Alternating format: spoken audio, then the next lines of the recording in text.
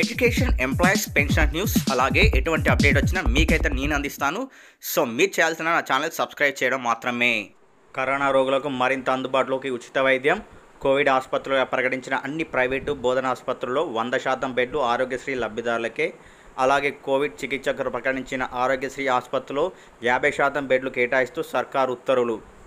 Corona రోగులకు ఆరోగ్యశ్రీ కింద ఉచిత వైద్య సేవలను ప్రభుత్వం మరింత అందుబాటులోకి తీసుకొచ్చింది. ఈ మేరకు ముఖ్యమంత్రి వైఎస్ జగన్మోహన్ రెడ్డి ఆదేశాల మేరకు రాష్ట్ర వైద్య ఆరోగ్య శాఖ శుక్రవారం కీలక ఉత్తర్వులు జారీ చేసింది.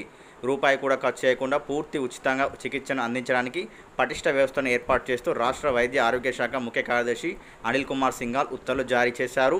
ఉత్తర్వుల ప్రకారం కోవిడ్ ఆసుపత్రిలో ప్రకటించిన అన్ని ప్రైవేటు బోధన ఆసుపత్రుల్లో పూర్తిగా వంద శాతం బెడ్లను ఆరోగ్యశ్రీ కింద కేటాయించి ఉచితంగా వైద్య సేవలు అందించాలి.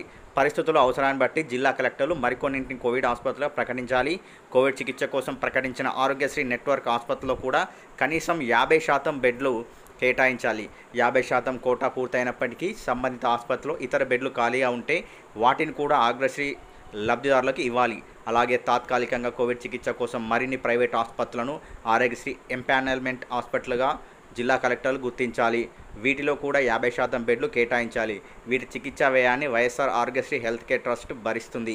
తాత్కాలికంగా ఆరోగ్యశ్రీ ఎంపానల్మెంట్ ఆసుపత్రులు గుర్తించే వాటి గుర్తించిన వాటి వివరాలను జిల్లా కలెక్టర్లు ఎప్పటికప్పుడు ఆరోగ్యశ్రీ ట్రస్ట్ సీఈఓకి అందించాలి. ప్రతి సమయంలోనూ యాభై శాతం బెడ్లను ఆరోగ్యశ్రీ లబ్ధిదారులకు ఖాళీగా ఉంచాలని చెప్పి నాన్ ఆరోగ్యశ్రీ కార్డు హోల్డర్ల చికిత్సను తిరస్కరించాల్సిన అవసరం లేదు. ఆరోగ్యశ్రీ పరీక్షల ఆధారంగా బెడ్స్ కే కేటాయించవచ్చు. సుప్రీంకోర్టు మార్గదర్శకాల అనుగుణంగా రాష్ట్రంలో అన్ని ఆసుపత్రులు ఈ నిబంధనలు పాటించాలి.